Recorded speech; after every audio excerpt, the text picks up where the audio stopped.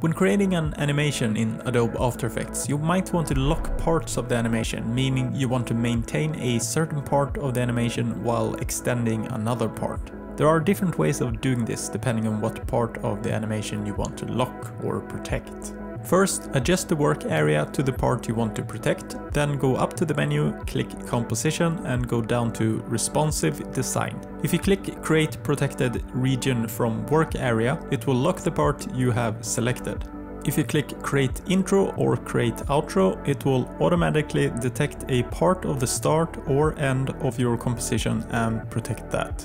You can adjust these protected areas afterwards by dragging the right handle to change the length of them and dragging the left handle to change the position of them.